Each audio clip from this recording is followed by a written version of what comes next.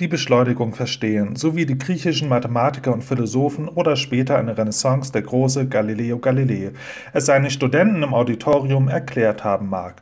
Auch wenn die Bewegungsgesetze zu den Grundlagen der Physik gehören, also in die Sek 1, so bereiten uns die Zusammenhänge der Bewegung immer wieder Verständnisprobleme. Ganz einfach, weil diese bereits an die Grenzen unserer menschlichen Vorstellungskraft stoßen. Welcher Physiklehrer erklärt seinen Schülern denn, dass beim Wegzeitgesetz die Geschwindigkeit einerseits konstant, bei der Beschleunigung dann aber eine Variable darstellt? Das sind zwei grundlegend verschiedene Vorstellungsbereiche, die auch in diesem Video wieder kontrovers diskutiert werden können. Aber los geht's mit der einfachen gleichförmigen Geschwindigkeit. Je mehr Zeit ein Gegenstand benötigt, desto mehr Weg legt er zurück, falls die Geschwindigkeit gleichförmig, also konstant ist. Das kann sich jeder vorstellen. Diese direkte Proportionalität bereitet noch keine Probleme. Natürlich sollte man bei einer variierenden Geschwindigkeit, zum Beispiel auf unterschiedlichen Wegen oder Straßen, den Durchschnitt mittels der Differenzwerte berechnen.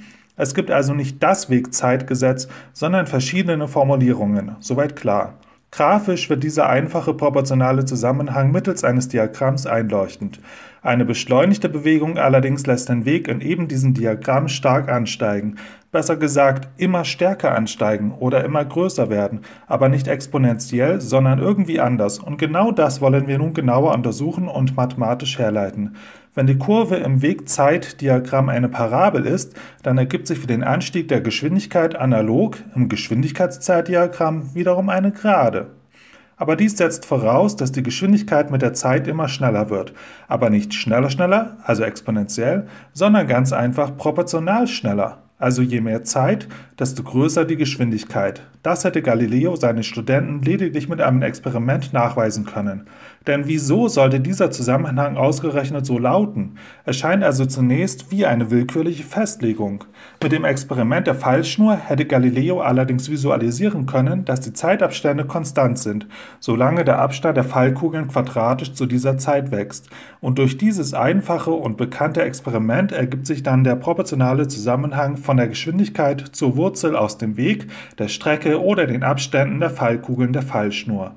Und an dieser Stelle hat Galileo seinen Studenten gezeigt, dass man diesen Zusammenhang wunderbar visualisieren kann mittels einer schiefen Ebene, wo eine Kugel von einer gewissen Höhe rollt oder fällt, und mittels der Superposition der Endgeschwindigkeit, welche die Kugel eine gewisse Strecke in waagerechter x-Richtung fallen lässt oder wirft.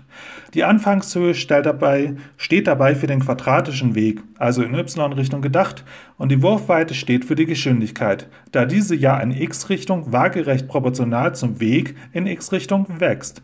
Ein geniales Experiment, eine Visualisierung des quadratischen Zusammenhangs der Geschwindigkeit zum Weg bei einer einfachen gleichförmigen Beschleunigung. Da dies gezeigt wurde, kann man nun auch mathematisch das Fallgesetz herleiten, aus der intuitiven Erkenntnis des Zusammenhanges der Geschwindigkeit zum Weg. Multipliziert man mit der Zeit t, dann ergibt sich die Proportionalität. Integriert man aber und behält sich eine Konstante g vor, dann gelangt man direkt zu dem bekannten Fallgesetz, wobei g die Fallbeschleunigung darstellt. Genial einfach. Aber wo war nochmal gleich das Problem? Ja, genau, anstelle der Geschwindigkeit habe ich einfach in der ersten Zeile v gleich s durch t eingesetzt. Aber ist die Geschwindigkeit denn nicht variabel? Zum gewissen Zeitpunkt t ist aber die Geschwindigkeit so anzunehmen, und zumindest funktioniert es. Und nun darf man den Schülern den Zusammenhang aller bekannten Bewegungsgesetze mittels Integration und Differenziation zeigen.